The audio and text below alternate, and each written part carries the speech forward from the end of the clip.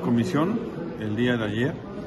Este, ya nada más por el proceso yo no puedo adelantarme, pero mañana ya habrá noticias muy claras, hasta el día de mañana, de qué terminó esto. Eh, no puedes dar una digo, finalmente. Pues mira, el- yo vi el proyecto, venía en contra, o sea, venía a favor de la destitución, en contra de él.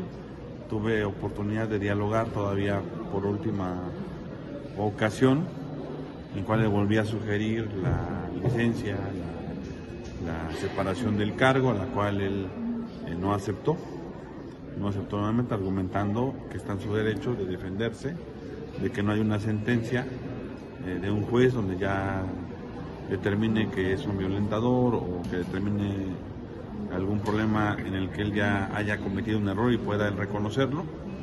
Este, pero bueno, independientemente que yo como dirigente escucho a todos los periodistas, a todos los dirigentes municipales y de sectores de organización, pues yo tuve oportunidad de platicar con la comisión y me, me mostraron que eh, habían decidido esta comisión, que es de periodistas muy honorables de mucha trayectoria en Puebla, que era la destitución.